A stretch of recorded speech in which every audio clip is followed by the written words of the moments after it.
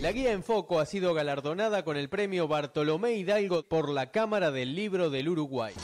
Presenta Carrasco Viajes. En abril, salida confirmada a Sudáfrica. Estos ríos subterráneos filtran por la piedra caliza, de la que está hecho todo este lugar y además de la que están hechas las construcciones mayas, y van cayendo en forma de cascadas hacia abajo del seno.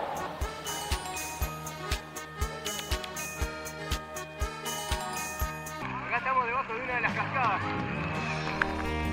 Los buzos pueden acceder a esas galerías y recorrer de cenote en cenote e incluso salir al mar.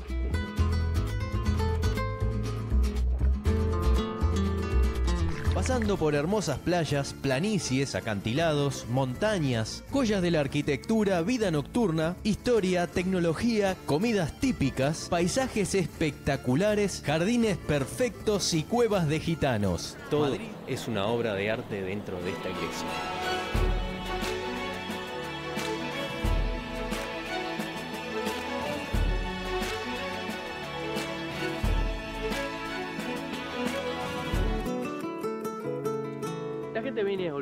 Por ser una isla paradisíaca, rodeada de playas de mar turquesa, agua cálida, playas de arena blanca y además una reserva ecológica. Sin embargo, cuando llegamos acá, descubrimos qué pasa en el pueblito. Come el picante. ¿Chile habanero tiene? Chile habanero.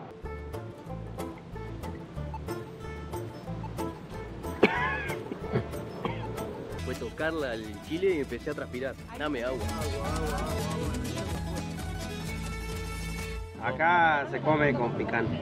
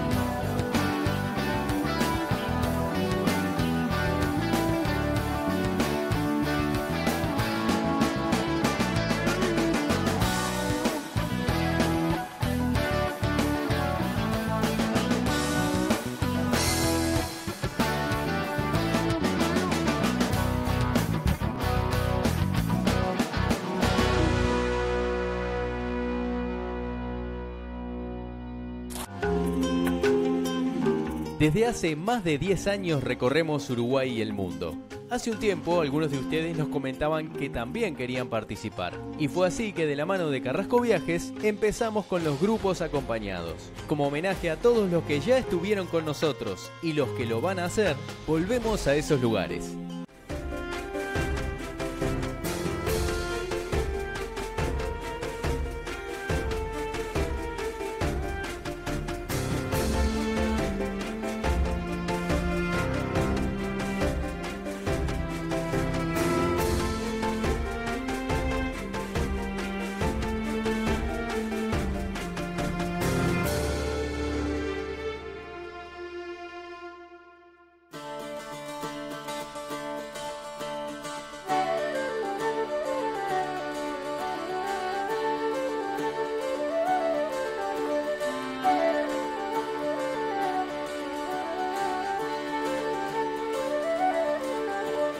Estamos en Chichen Itza. Esto es el complejo turístico que se armó alrededor de las ruinas arqueológicas y en Chichen Itza hay uno de los cenotes más grandes y conocidos. Tiene 25 metros de profundidad hasta el agua, unos 30 metros de diámetro y tiene más de 40 metros de profundidad. Vamos a acercarnos para ver desde arriba la perspectiva de la distancia que hay de acá hasta que empieza el agua y desde ahí 40 metros para abajo.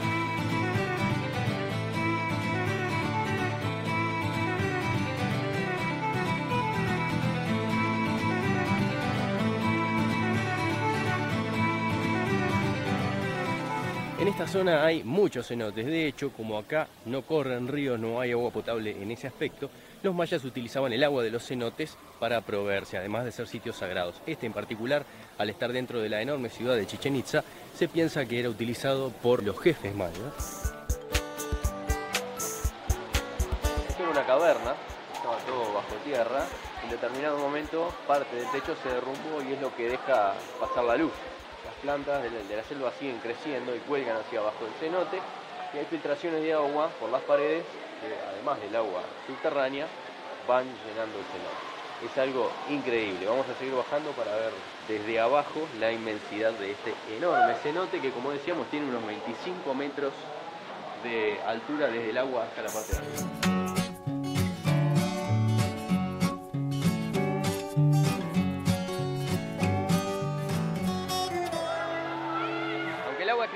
Llega a ver el fondo, solo se ve en algunas partes donde caen los rayos del sol y hacen como una especie de linterna concentrada y ese rayo sí llega hasta el fondo. Lo que sí vemos son peces que viven acá, es bastante grande, así que me voy a tirar a ver hasta dónde se ve por abajo del agua y si está frío.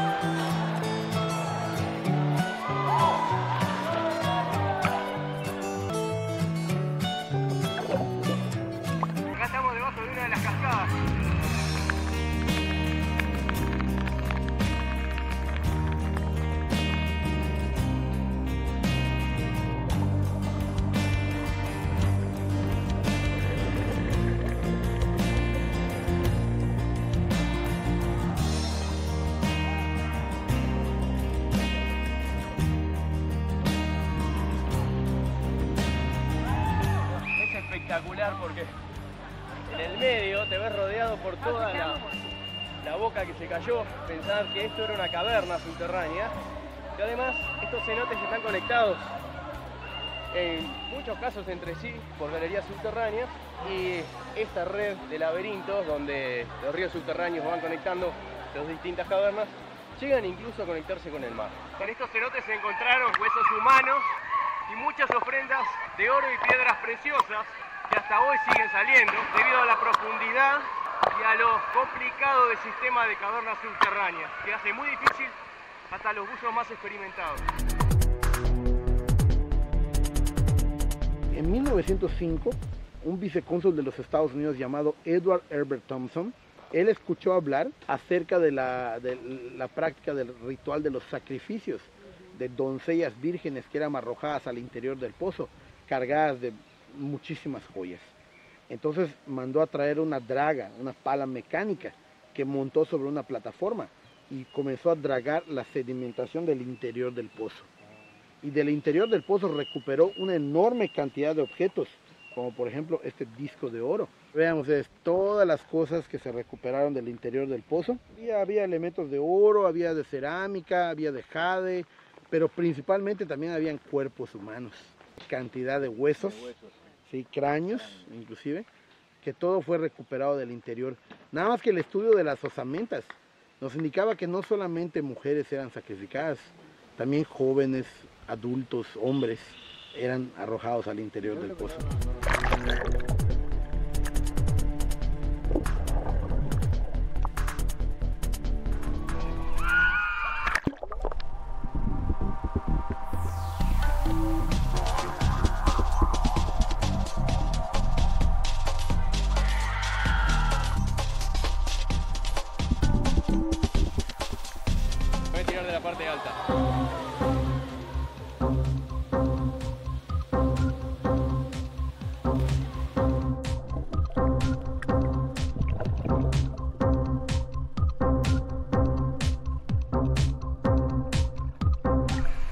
Espectacular. Acá estamos en la parte que no fue tocada del cenote. Vemos las raíces de 25 metros de los árboles que bajan a la superficie del agua. Y contra esta parte de la pared, una cascada que va bordeando cae sobre las rocas. Este es uno de los espectáculos más hermosos que tiene la naturaleza.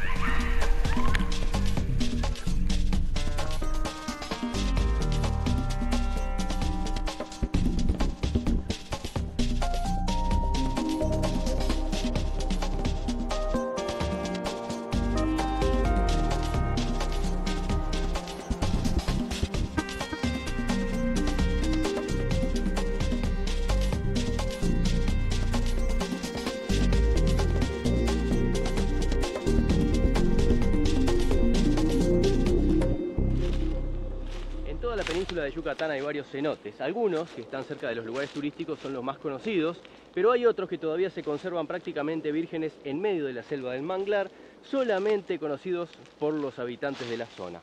Así que siguiendo las recomendaciones de ellos, vamos a buscar uno de esos cenotes. Esta es una de las pequeñas grietas que se van haciendo con la filtración de agua. Lo que vemos acá es la piedra caliza.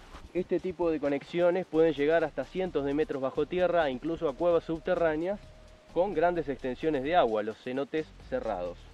Hay que tener mucho cuidado donde se pisa porque en muchos casos están cubiertas por estas hojas, por la vegetación. En otros casos como este están abiertos, pero uno puede caer perfectamente hacia abajo y quedar atrapado. Así que vamos a seguir para encontrar los cenotes hay que tener cuidado. Y a ver si descubrimos ese que nos indicaron que parece que es uno de los menos explorados, por lo tanto vamos a tener una idea de cómo era la formación original en la época en que vivían los mayas. Estamos más bajo que la superficie, se empiezan a ver los primeros desprendimientos y más adelante están los cenotes. Vamos para allá.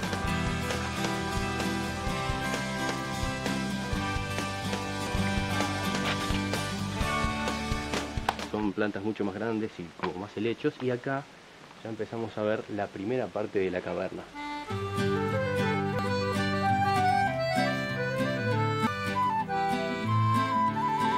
Parece repetitivo, ¿no? Pero uno acá realmente parece que está en el paraíso. Es un cenote a cielo abierto, uno de los más antiguos. Hay tres tipos de cenotes.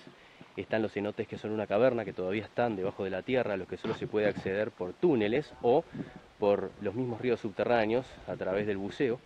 Están la segunda clase de cenotes, que es la caverna, pero que el techo se desprendió parcialmente. Por lo tanto, dejan entradas de luz y uno puede estar todavía bajo la bóveda. Y los terceros son estos, los más antiguos. Este es uno de los cenotes más antiguos que hay en esta zona. No se sabe la cantidad de años que tiene, puede tener cientos de miles de años.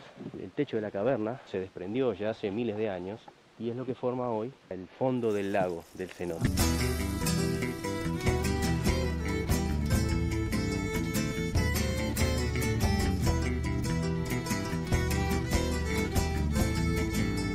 Estos eran lugares sagrados, protegidos de las inclemencias del clima y además, como creían los mayas, una conexión con el inframundo, lo cual era bastante literal porque estos cenotes están conectados por una red de laberintos subterráneos, a los cuales sí se accede.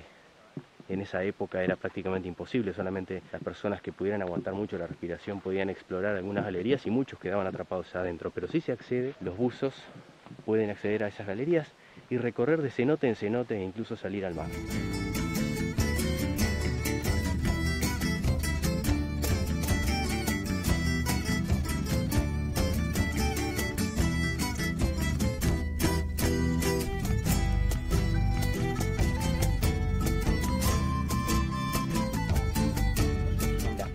Impresionante, está lleno de aves, muchas de ellas viven incluso en las paredes del cenote o hacen sus nidos dentro de las cuevas.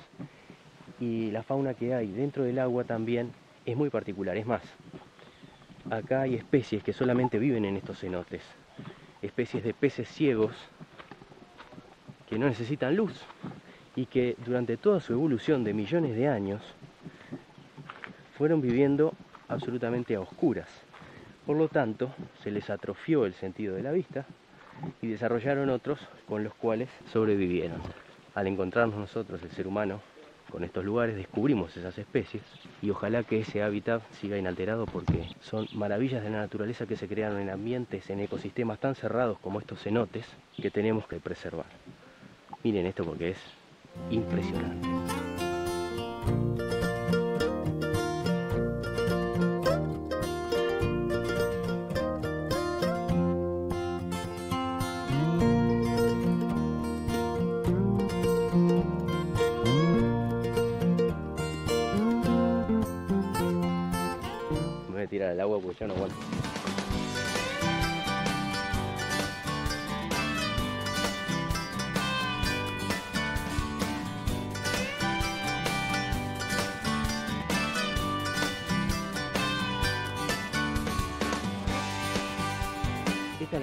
De la caverna y por lo que vemos hay galerías que conectan con otro lugar. En principio Vamos a tirarnos a ver qué hay acá y después vemos a dónde podemos llegar. El agua es absolutamente... ¡Ah! Está fría. Absolutamente transparente. Se pueden ver incluso plantas que crecen debajo del agua, ya que como la luz del sol atraviesa el agua, pueden vivir perfectamente en ese lugar. Son plantas de superficie, pero como el ambiente es tan cristalino, crecen debajo del agua. Y algunos peces, que como decíamos son endémicos, muchos de ellos son ciegos y otros son introducidos después más adelante por el hombre, que cultivaba peces en estos, en estos cenotes. Pero muchas de las especies que vamos a ver debajo son endémicas y en la gran mayoría de los casos, sobre todo en las partes oscuras, son peces ciegos.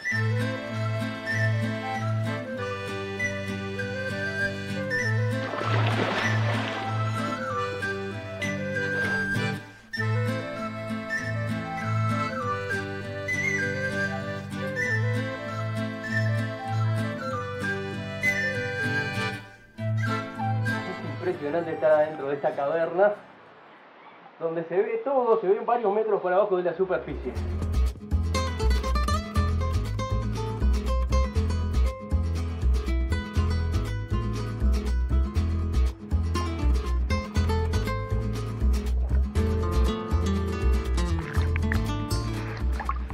Espectacular.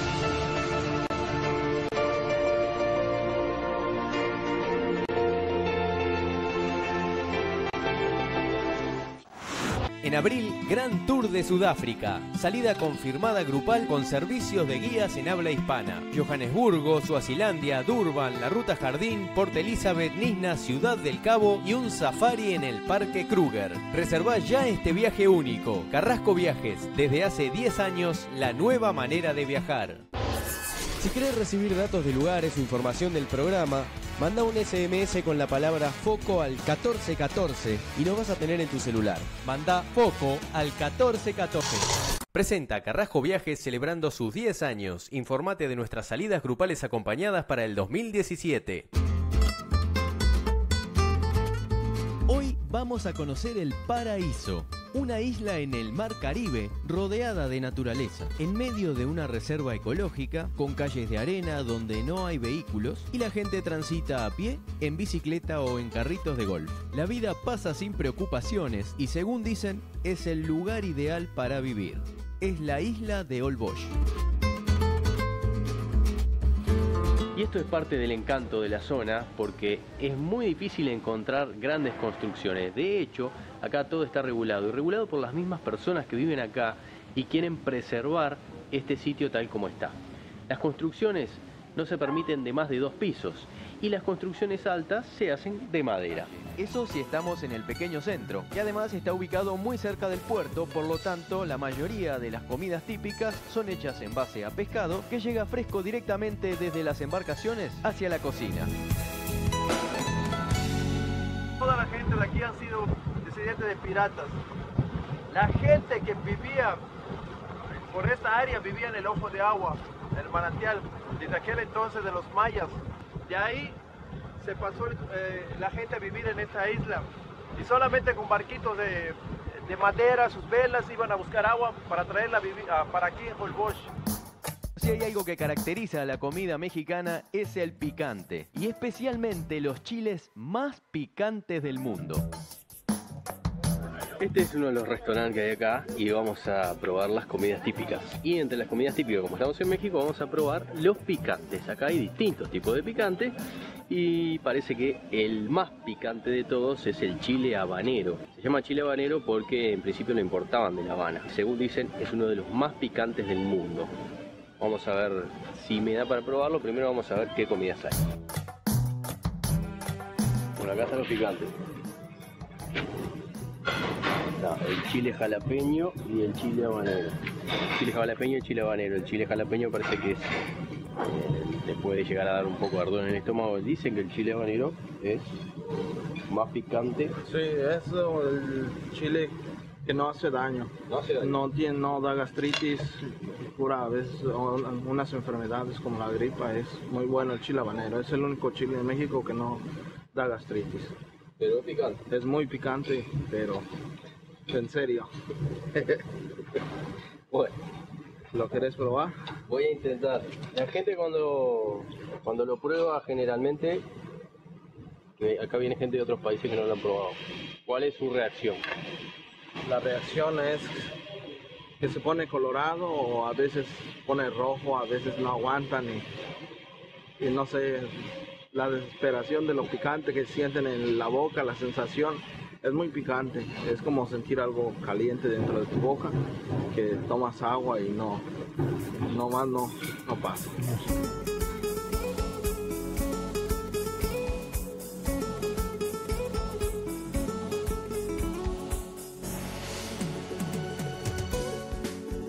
Habanero es más picante que el jalapeño. Sí, es Más picante. Es el más picante, es el número uno. Más picante. Los chiles en México. Esto es el chile habanero. Verde. Voy a poner un poquito acá.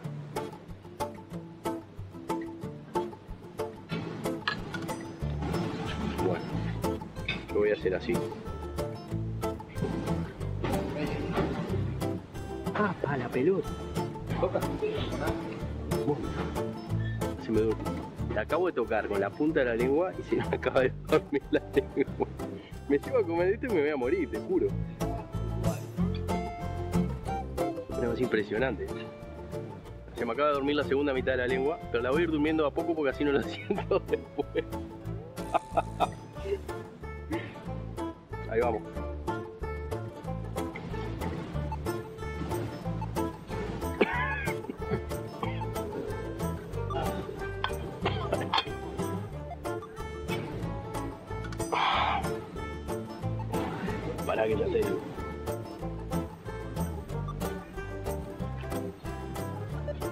Juro que se me empiezan a caer las lágrimas. Se me empezó durmiendo la lengua y ahora se me está durmiendo toda la garganta.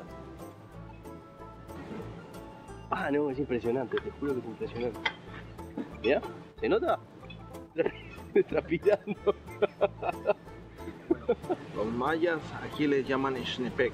El Ixnepec es el significado, Ixnepec es hocico de perro.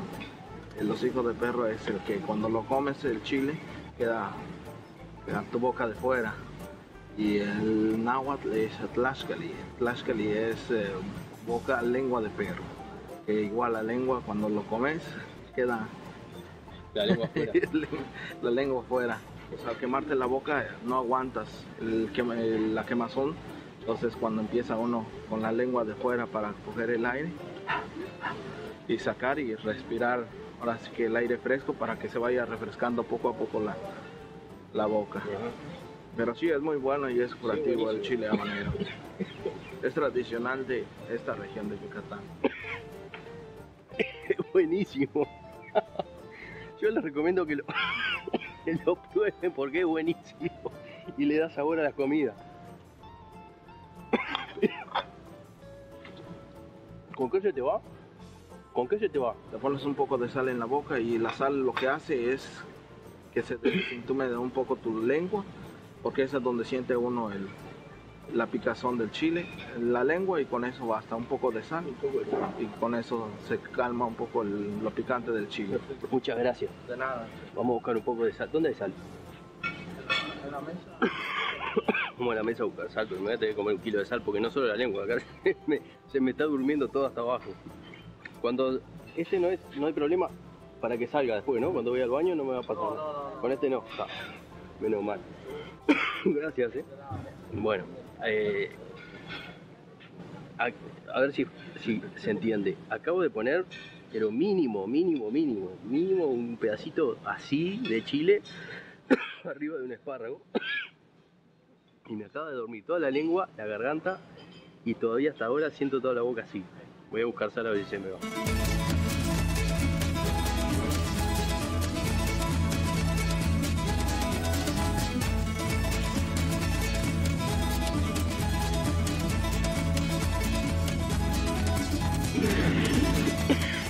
Voy a buscar un poco de sal. Ahora se me fue un poco, pero mirá que es esto.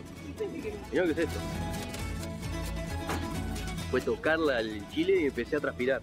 Dicen que es vasodilatador y que es bueno para la gripe y todo. Y que te saca todo. Te saca todo, te saca todo para afuera. No te, que no te queda nada. Te mata cualquier virus. Dame un poco de sal porque dice que con sal se va. Entonces toda la Ojo que no sea pimienta. Prefiero pimienta que sal, te digo. Mmm, dice que te lo saca la sal.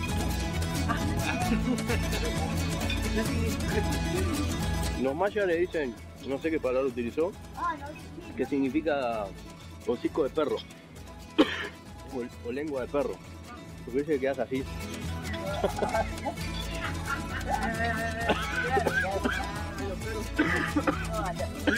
No funciona lo de la sal, no lo hagan. Dame agua. Agua, agua, agua, agua. No, este es más fuerte.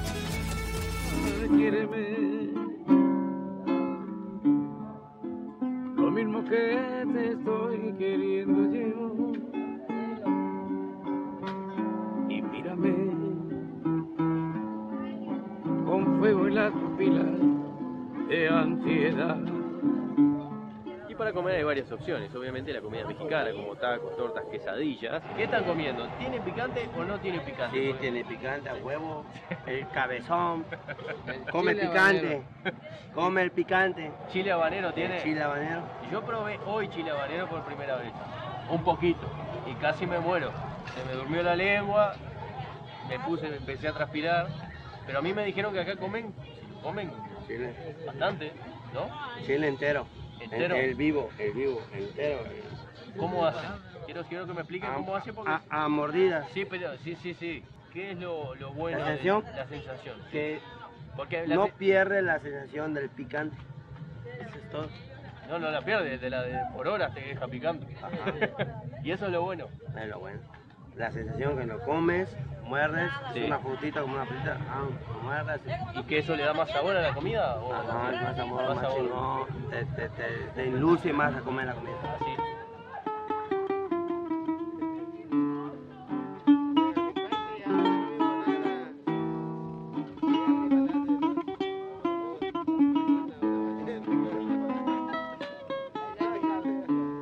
Lo mejor es cuando sudas. Eso, sí, eso es- cuando sudas es porque dices, quiero más. o sea, quiero No, no, yo decía, más. no quiero más. No, es- eso te motiva a comer más. Es, es lo mejor de todo. Te motivas a comer más. Bueno, mañana voy a probar de nuevo a ver si me verdad, motiva. sí, la verdad, A que mí me probar. motivó a tomar agua, lo único que me motivó. Tómame, que a todo estoy dispuesto por tu amor. Si querés recibir datos de lugares o información del programa, manda un SMS con la palabra FOCO al 1414 y lo vas a tener en tu celular. Manda FOCO al 1414. Estamos en Enfoco 360. Lo pueden ver entrando a nuestro canal de YouTube www.youtube.com barra Sebastián Beltrame y ahí van a encontrarse una serie de videos. Si los abren desde su celular o tablet con la aplicación de YouTube, se van a encontrar con esto. A medida que giren el teléfono o la tablet, van a poder moverse adentro de la imagen, van a poder ver hacia arriba, hacia abajo o en 360 grados en tiempo real y dentro del video. Estamos grabando en todas partes del mundo y en Uruguay. Así que a partir de este momento ustedes pueden ingresar adentro de nuestros videos y acompañarnos directamente y virtualmente en nuestros viajes. Dentro de un laptop o computadora de escritorio, también lo pueden abrir con un navegador reciente entrando a nuestro canal de YouTube y al abrir estos videos los van a poder mover con el mouse. También los pueden girar con el dedo hacia arriba, hacia abajo o hacia el lado que ustedes quieran.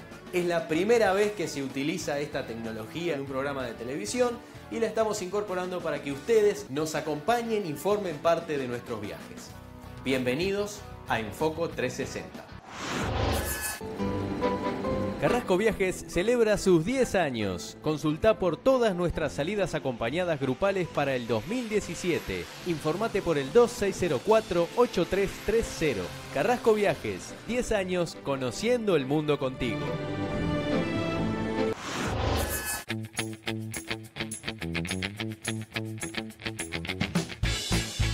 Desde América, nuestro próximo destino en grupo es a Europa. Recorrimos la península ibérica y vamos a visitar la Sagrada Familia de Gaudí en Barcelona.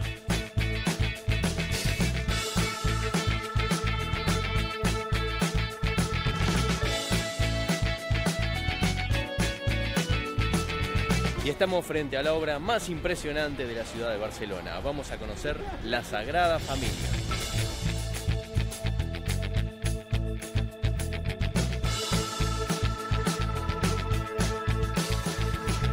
Cuando Gaudí empezó a construir este edificio, no tenía la menor idea de lo que iba a suceder.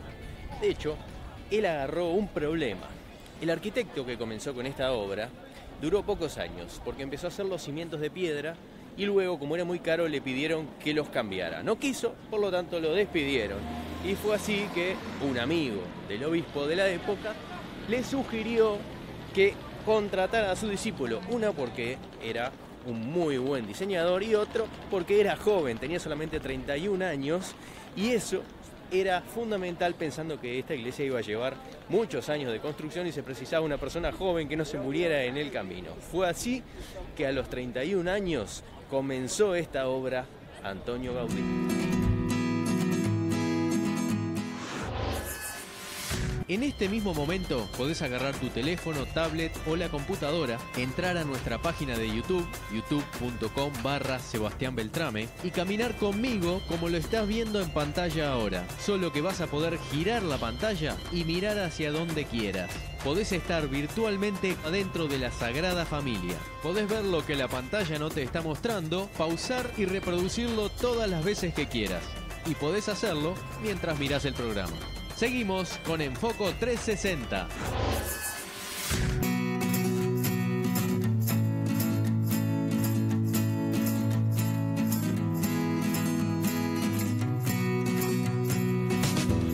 Y Gaudí hacía tres años que se había recibido de arquitecto cuando recibió el encargo de esta impresionante obra. Solo que él decidió cambiarla. En principio querían hacer una iglesia bastante pequeña, pero su idea era bastante diferente. Resulta que dedicó toda su vida a este proyecto, literalmente, porque él empezó a los 31 y esta obra le llevó más de 40. Cuando estaba pasados los 70 años, él seguía trabajando en esta construcción. Y no solo eso, los últimos 15 años de su vida los dedicó solamente a este edificio, a tal punto de que él mismo ponía dinero para la construcción cuando no le podían financiar parte de lo que quería hacer. Por eso decíamos que este edificio no representa solamente una de las obras arquitectónicas más impresionantes de todos los tiempos, sino que además representa por entero la vida de Gaudí.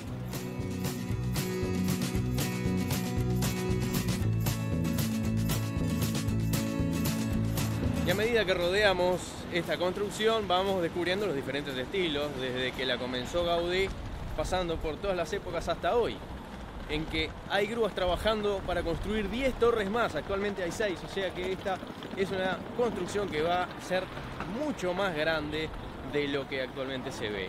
Y por eso también hay partes de la obra que están paradas. Por ejemplo, esto que vemos detrás es una construcción moderna. Y como vemos, hay columnas que están sin terminar con los hierros oxidados y eso es porque el proyecto plantea que se expanda para este lado. ¿Qué hay de este lado? Edificios, edificios de viviendas, comercios, que tienen un valor muy importante. Por lo tanto, todos estos edificios van a tener que ser derrumbados, tirados abajo, para continuar con la otra fachada de la iglesia. Así que mientras estos trámites continúan, que van a ser largos, la construcción de este lado queda parada. Igual eso no importa porque hay mucho todavía por terminar en esta iglesia y permanentemente cuando se visita se convive con la construcción actual.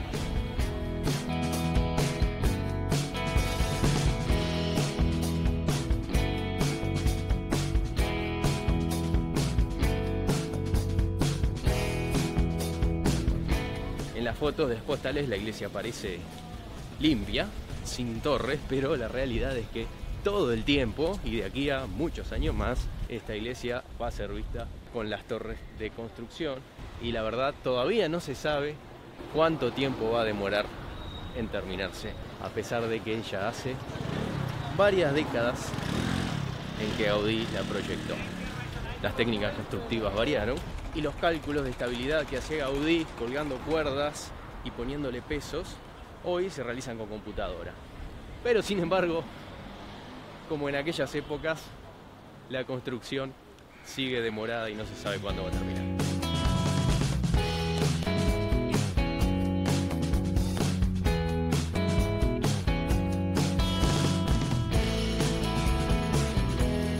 Cuando Gaudí empieza la construcción de la iglesia, este era un barrio muy pobre. Entonces, él decide poner todo hacia afuera, para que la gente, aunque no entrara en la iglesia, estuviera rezando. Y así es que pone frases dentro de la fachada, en las estructuras, pero de manera que la gente las pueda leer. Los santos también miran hacia afuera y todo lo que está hacia arriba, o sea, los colores que ornamentan las torres y la fachada, son de cristal de Murano. No son pintados porque como estaban tan altos, él preveía que nadie los iba a limpiar ni a mantener. Entonces, con una visión muy acertada, los puso de vidrio y de esta forma se mantienen tal cual como en la época original.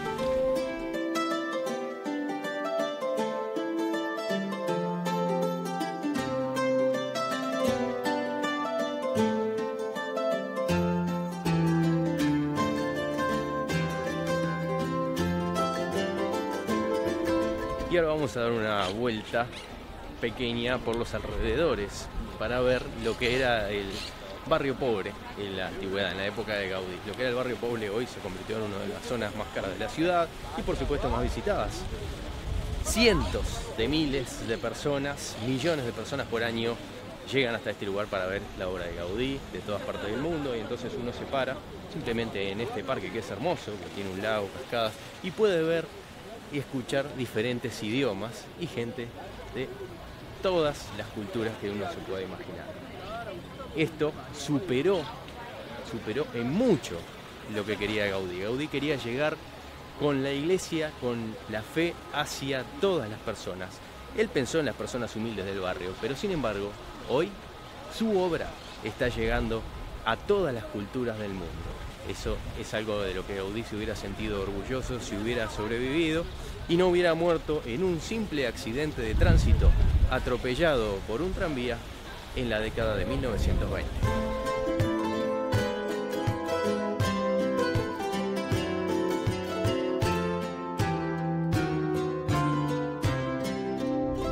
Y parece mentira que lo único que pudo haber terminado Gaudí antes de morir fue el campanario de una de las torres. Sin embargo, tuvo esa satisfacción porque la obra llevaba tanto tiempo que parecía que nunca se iba a terminar.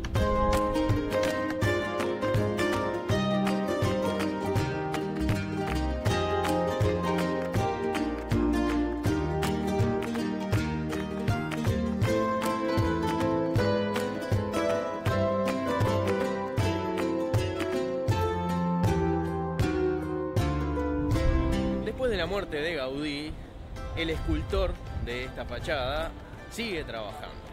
Resulta que este escultor, que ya era mayor, pero todavía tenía varios años de contrato, iba muy rápido en la construcción.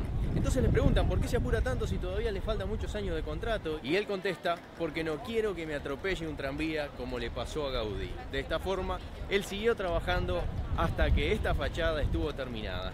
Hoy todavía falta muchas más, se prevé que la iglesia tenga 18 torres, pero como decíamos, parte de la construcción tiene que estar sobre las viviendas existentes.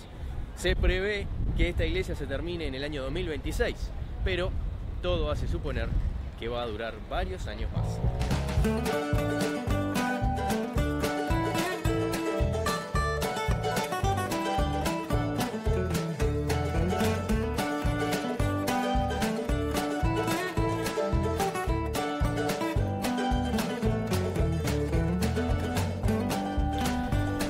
Nos acercamos a la fachada, ya empezamos a sentir sensaciones.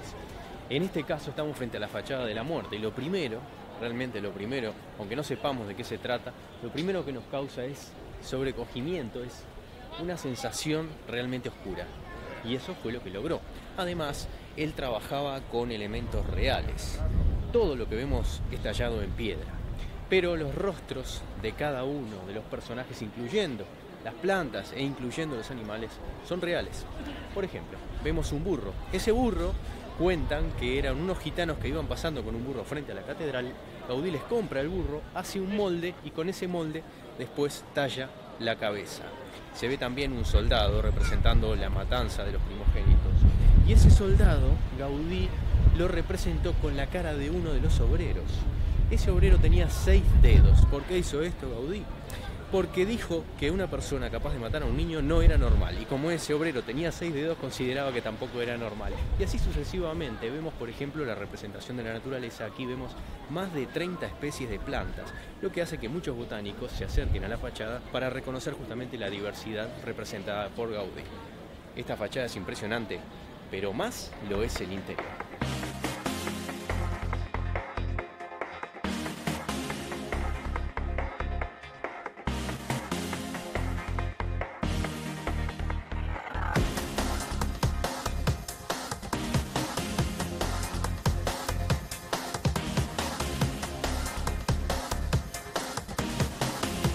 Tenemos para decir de esto? Absolutamente nada. Las imágenes hablan por sí mismas. Observen lo que es la entrada de la luz.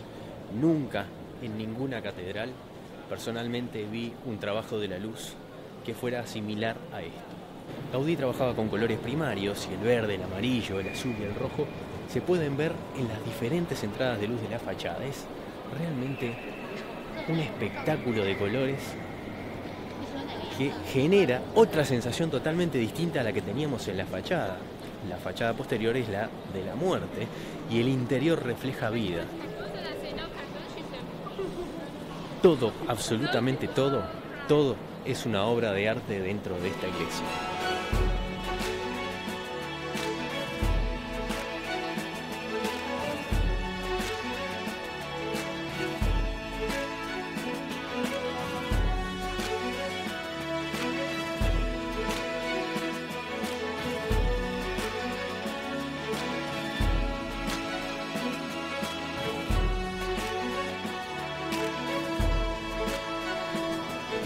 A detenernos un poco en el espacio.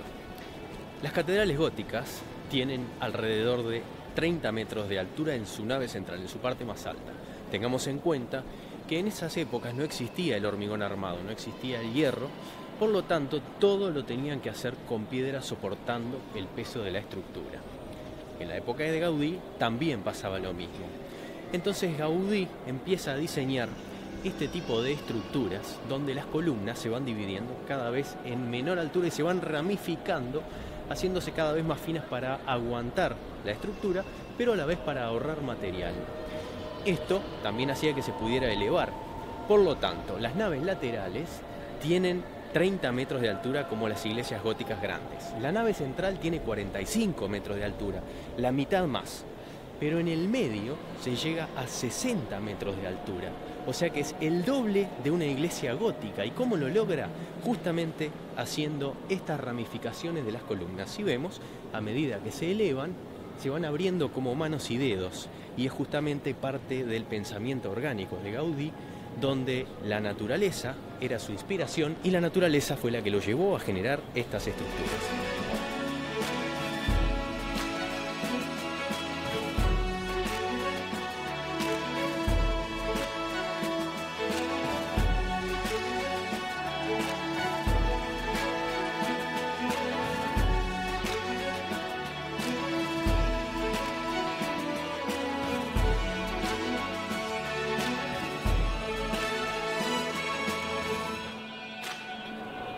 Punto, esta iglesia fue la vida de Gaudí, que dejó en su testamento, antes de morir, porque él no sabía que estaba enfermo y no sabía que se iba a morir, murió en un accidente, dejó en su testamento que cuando él muriera su casa fuera vendida y ese dinero se utilizara para seguir con la construcción de la iglesia. Era todo para él. Decíamos que los últimos 15 años de su vida se dedicó exclusivamente a esto. Y no tenía familia, no tenía ni siquiera sobrinos, no tenía mujer. Resulta que él tres veces estuvo enamorado y las tres veces no pudo conseguir al amor de su vida. Fue así que directamente al final se resignó. E incluso, una de sus frases más conocidas es que he dominado todos los aspectos de la vida menos mi mal genio. Él mismo sabía cómo era su carácter. De hecho, cuando fue a conquistar a la primera mujer, que era una gran deportista, resulta que se demoró tanto por pensarlo y por tener sus dudas, que cuando lo fue a hacer ya se estaba casando con otro. Bueno, todo ese carácter y toda esa energía que hubiera precisado para conquistar a la mujer, la dedico a la construcción de este edificio. Así que cuando uno entra, se imagina las horas y los días y los años y los meses que pasó Gaudí porque prácticamente vivía aquí adentro. Y si vemos la iglesia está absolutamente despojada de todo. Y ahora vamos a ver por qué.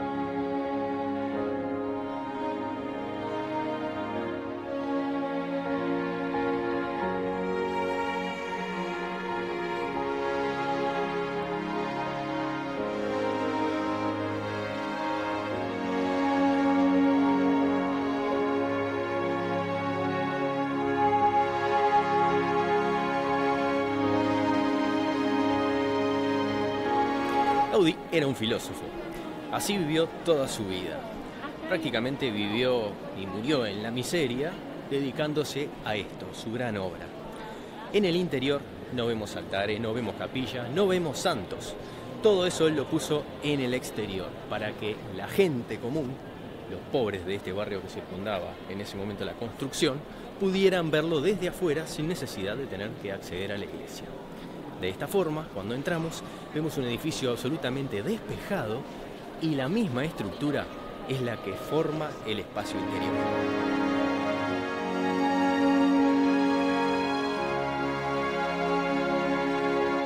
Esto fue apenas una pequeña muestra de los viajes grupales que hicimos con Carrasco Viajes en los últimos años. En el 2017 tenemos varios destinos ya confirmados, pero eso queda para el año que viene.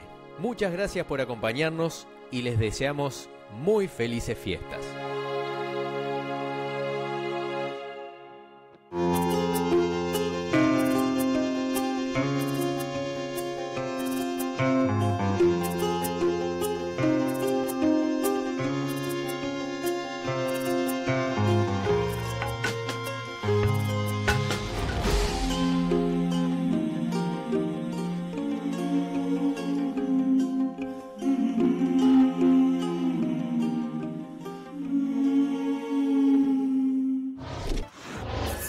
Presentó Carrasco Viajes. En abril, salida confirmada a Sudáfrica.